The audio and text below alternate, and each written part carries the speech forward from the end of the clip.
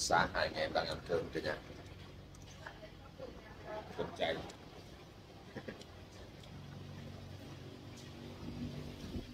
Cơm khá là ngon. Mà quán cơm quán cơm sạch sẽ rồi Quán cơm sạch tôi cũng muốn.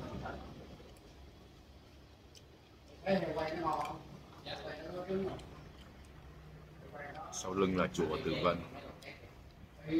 Trước mặt em là không lắm Vâng, em đang quay mặt cam trước mình. Đây là quán chay Đó chính là cổng chùa Tử Vân Khá là ngon một nhà Cơm chay mà khá là ngon. Anh Hiếu là anh ăn chay trường luôn. Đó. Người đây làm nữa có trường không ăn xong rồi lát nữa hai anh em chỗ nào đi tiếp. Tại vì kênh đang ở lại đây dưỡng sức thì cũng coi như tiếp sức được tiếp sức rồi cả nhà nó là bạn vui quá chơi cũng không tặng nữa. Đúng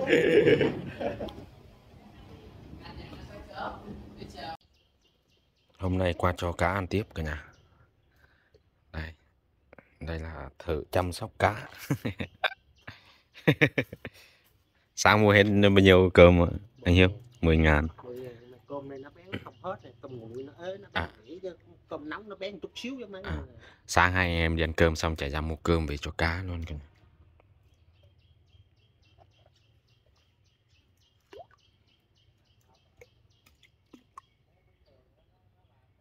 ăn hết luôn tầm này mà không hết sao được. Chắc hôm qua giờ cũng không có ai cho ăn đâu nhỉ? Mày may có anh Hiếu cả nhà. Cứ ai qua đây thì gặp anh Hiếu thì hô, hốt cái gì? Phát duyên nha, cho anh Hiếu nha. Đặng còn có tiền mà mua đồ ăn cho cá ấy chứ một mình là anh là chịu không có nổi đâu. Này thả miếng nào đớp miếng đó.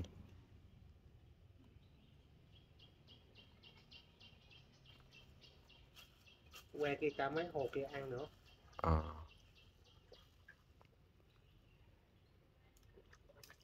cá mà cá mà nuôi thế này mà không cho ăn thì thôi cả nhà sống sao nổi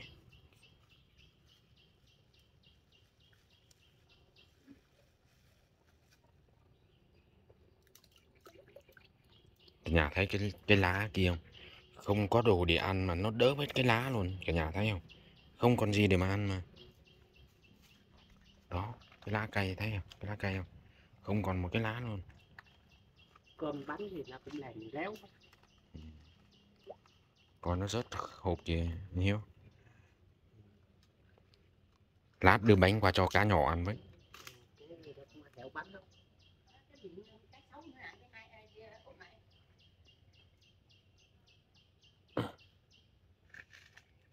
Nó quay hồ thì quay nữa. Cầm cái bị bánh đây. Bánh chiều đi lên chùa mà. Thấy bánh thì cũng cái kiểu mình vào mình xin trước. À, đây quái khách luôn.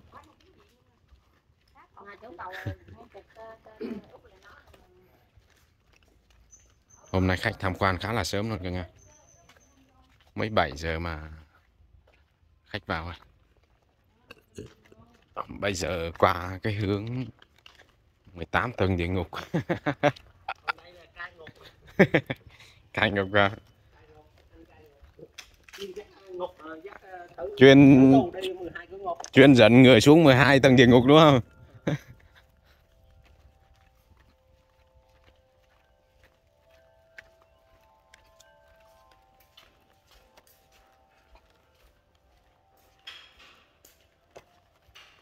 anh xuống 12 tầng địa ngục nữa hả? À. à. Em tưởng đâu? Anh còn muốn xuống 12 tầng địa ngục tiếp.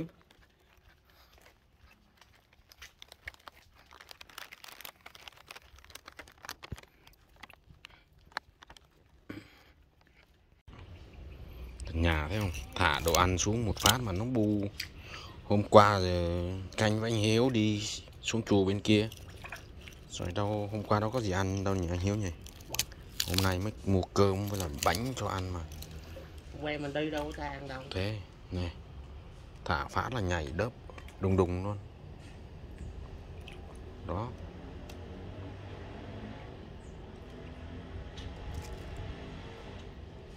Bự chạy. Ừ.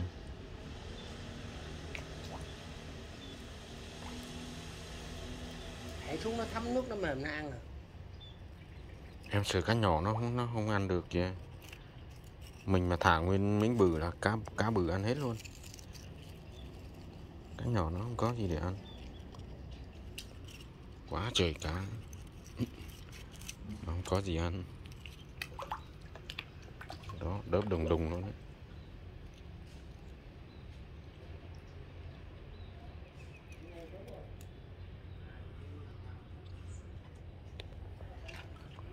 Đó bên kia là bắt đầu dẫn khách xuống địa ngục rồi đó. Xuống địa ngục trần gian nữa.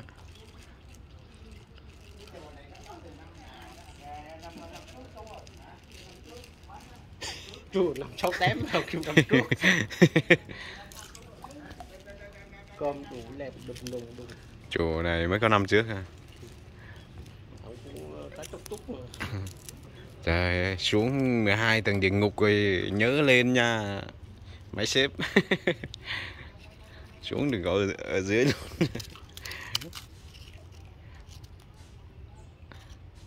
Gặp đúng à, người dẫn cái kiểu hướng dẫn viên du lịch có tâm luôn. Chùa này có năm nào chú có từ năm trước. Đúng bài dưới đây có con rùa con be be vậy nè. Nó hay nổi lên nó máu nổi lên cái nó lặn xuống lại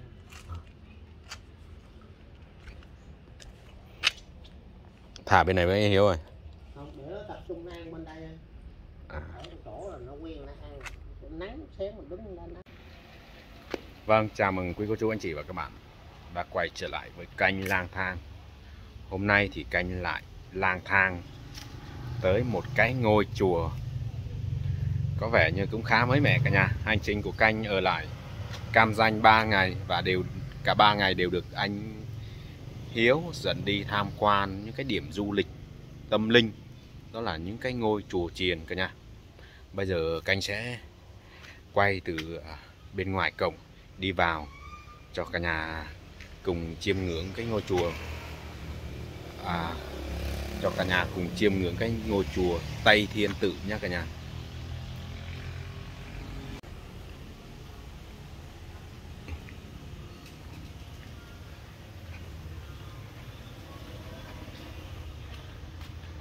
khi bước vào bên trong thì canh thấy hai cái bên đường mình vào.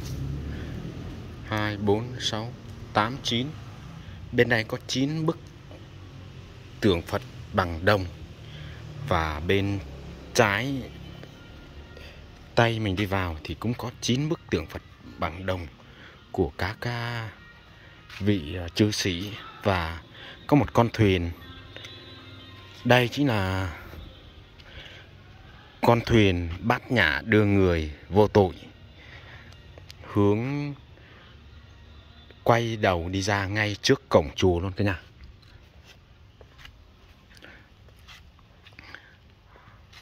Bước vào bên trong thì trước mắt chúng ta là cái điện của à, mẹ quan âm à, phật bà. Ngàn tay.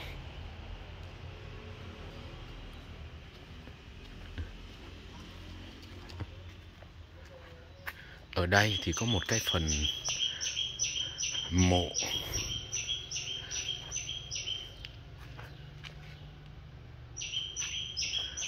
Như xa điện.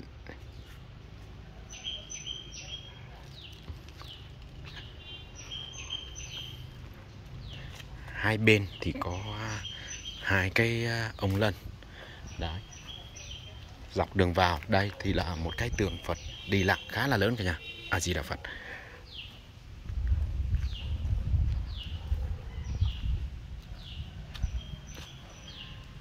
Ở đây thì có một cái tượng mẹ quan âm và canh nghỉ bên trong đây, chính là cái điển chính, nhưng mà hiện tại bây giờ thấy cái điển chính đang đóng cửa.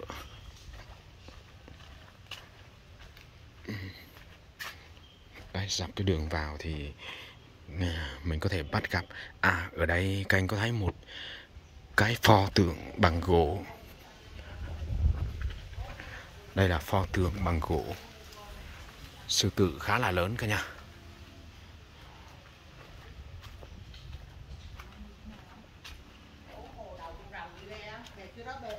như lai đại niết bàn. Hố này không có duyên đâu, hồi nãy tao bỏ cái da vậy nè cá lên xuống mất tiêu à hả còn nổi Con chào này, à là con này cũng như bảy á, nó dài khúc này nè, mẹ đi lùi nãy nở lên nè. Giờ chuyền rồi. Nãy em vô quay á, không chịu chạy vô. này em đang quay ngoài kia Ừ.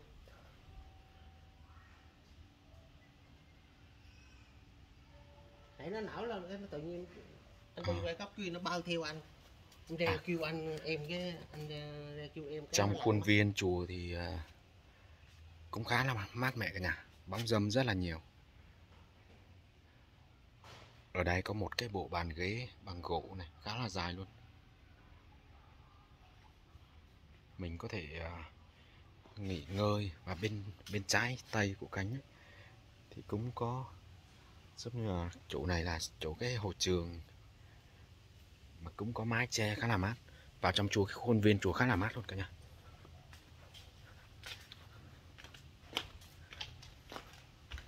Cô trông ở, ở đây à cô? Cô trông non ở đây hả? Dạ. Canh vừa gặp cô cô đang đứng ở bên ngoài. Kiểu như cô trông non ở đây cả nhà. Này dọc cái đường vào mình bắt gặp những cái cột à, của ngôi chùa và được vác lên mình. Trong những cái cột này á thì có những- có những cái- à, hình dòng cuốn theo những cái trụ cột này.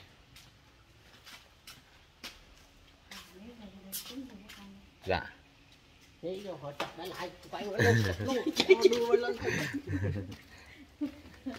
Lát nữa con xin cô ít thông tin nha cô. Không- thông tin về ngôi chùa của mình nhé cô không biết hả? Cái cái bạch á chùa Thị Văn của cá à, ồ nó thấy mình nó tự nó chạy lên nè nó mừng nè. Cá bạch. Cá cá cá chê bạch cả nhà. Nè nè quay nè quay. Đây, cho năng nè. ồ cám. Thả ra đớp liền nhỉ con mà họ chạy đây đang cho ăn. Ôi rồi. kìa. Không nhưng mà kiểu như là cứ thả có đồ ăn là là nó ăn thôi nhỉ. Với lại kiểu như thấy người thấy người tới ấy, thì nó ấy.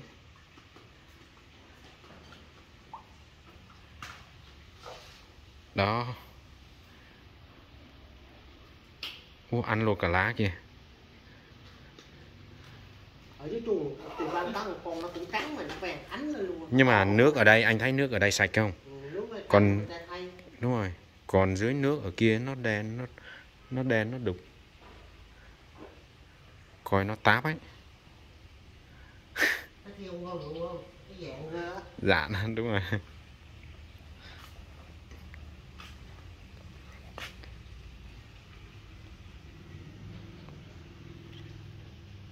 cá bạch tép gì đâu nó cá bạch khá là đẹp.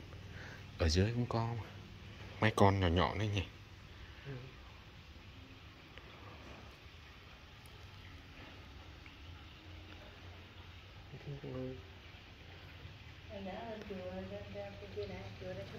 Dạ. Chùa Thiền Lâm mới lên chưa? chưa. Chùa Thiền Lâm. Chút đi. Mình chưa biết chùa đó nhỉ. Cái này là ngay chỗ dưới đặt đó họ chạy trên đó có be cái chùa lận hồi tết em có đi rồi. Cái đâu, một chùa lớn rồi ngoài kia cốc mà. chùa Thiền Lâm thì đã có đi rồi. Đó là núi khác, còn cái chùa Thiền Lâm này, cái chùa Thiền Lâm mình lên là cái gì các bạn? Chùa đó. chút đi rừng lên xuống đé hả? Dạ dạ chút đi đây. Dạ.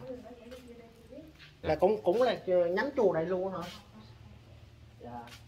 Chùa đó nghe nói ông là thầy cái chùa Kỳ Văn nó cũng lên cấp đó đúng không? À nghe nói. Vâng nè cái nhiều khi nó đồ ăn đây rồi nó đâu nên ăn nó bao nhiêu nè vào khuôn viên chùa khá là đẹp luôn cả nhà. À ở trong đây có cả kiểu như là hòn non bộ nữa cả nhà. Đây này có tiểu cảnh và hòn non bộ rồi. Wow. Nhà thấy đẹp chưa? Chưa em đang quay mà. Đây là thầy hiếu thầy chuyên cho chăm sóc. Chăm chăm sóc cá. Chưa em đang quay chưa? Lát là chụp. Anh hiếu có muốn vào trong này không? Trong này có am có am nè anh hiếu. À bây giờ canh sẽ đi vào bên trong để canh vái nha cả nhà Cái này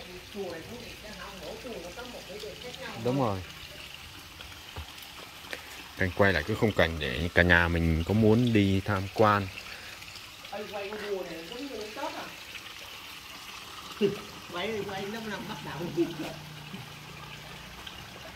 Nó coi nó táp ấy.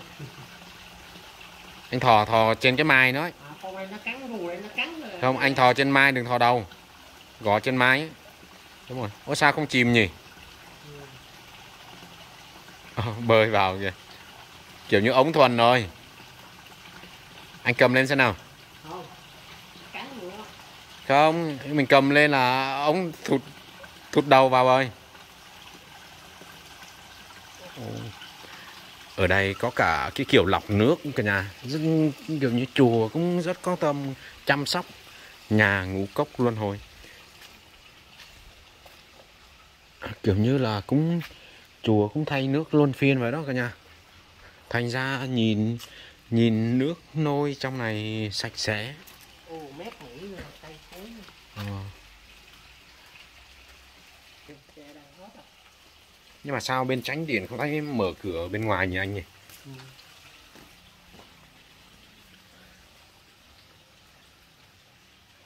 cái tiểu cảnh ở đây khá là đẹp luôn cái này. Ủa, tính là lên cái ghét cái quay cũng đẹp hơn lên ngọn núi á, lên cái lầu á. À, để lát nữa lên. Lâu rồi cả nhà thấy canh không có đeo không có đổi nón luôn. đây là nón SOS chị gái Bình Thuận tặng. Hôm nay mới đổi. Để canh lên trên lầu. Canh quay cái khung cảnh trên lầu cho cả nhà cùng xem. Dạ. Đi quay qua quay lại bên bên ngoài này.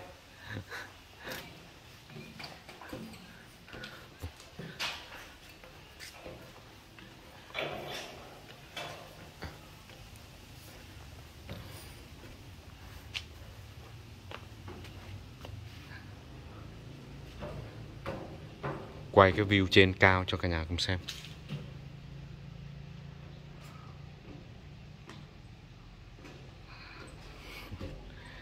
Đây có cá nhưng mà có người chăm sóc rồi nên anh Hiếu không cần quá lo lắng. Tới này hồi bữa em kia tới giờ là đủ chùa rồi không à, đi. Cái xoài cái xoài với cái me. Còn lên lầu nữa mà lên không được khó cửa thôi đi xuống xong rồi mình vào tránh điện đi anh Hiếu. Không biết mở đây mình vào đây này. Chỗ cổng đây mở này. Ngoài cổng chính không mở nhưng mà cổng đây mở.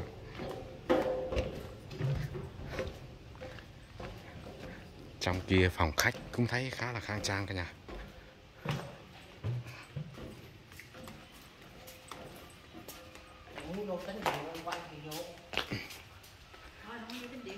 Sao ạ chứ mà không có vô tranh điện vô vô một phút thôi vô một phút vào vào vô khấn xong rồi ra thôi. Quay xuống. Nhanh nhanh đi nhiều nhiều cái nhanh lên nó chim thấy rồi cái mặt nó dễ sợ con mắt rồi. Đi, đi quen nó quay lên.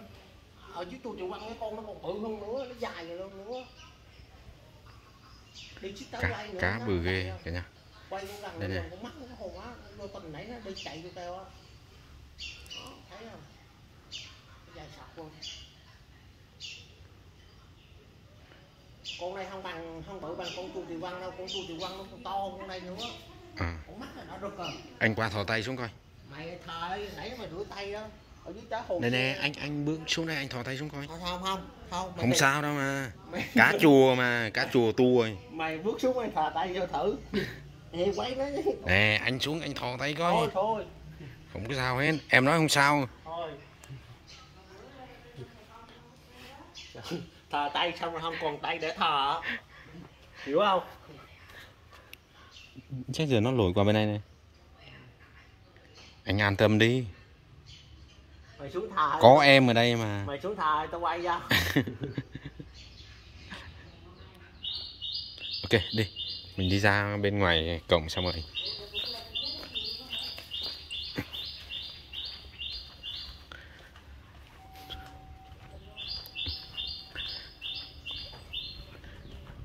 này, canh vào thì cũng có một ít khách thập phương đi vào ờ, tham quan chùa cả nhá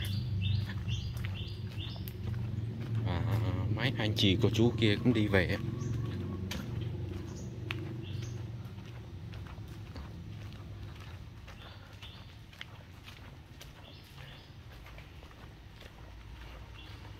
Nhà thấy hình hai ông lân có hồn không? Khá là có hồn, thợ cũng có hồn.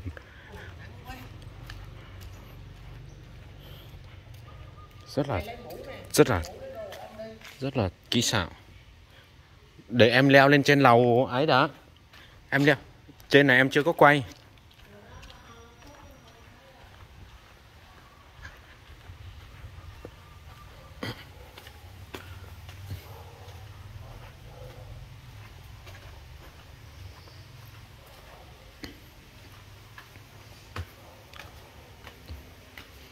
canh leo lên trên cây. Lầu này để quay cho cả nhà cùng xem. Cái view trên cao của ngôi chùa.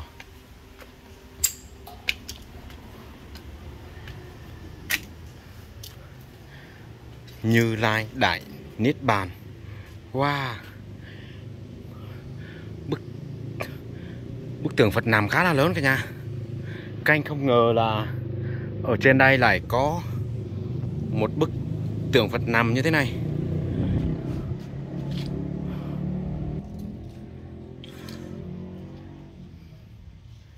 Canh cứ nghĩ trên này chỉ là một cái sân thường thôi cả nhà.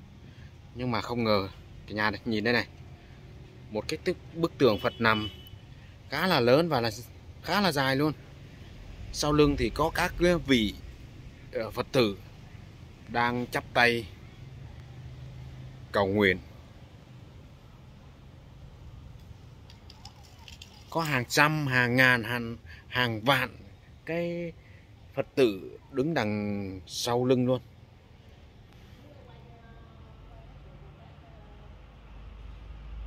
Phật phép thấy hay không nhiệm màu không sáng suốt có trí huệ không Như vậy là canh đã review xong cái ngôi chùa Tây Thiên Tử rồi cả nhà.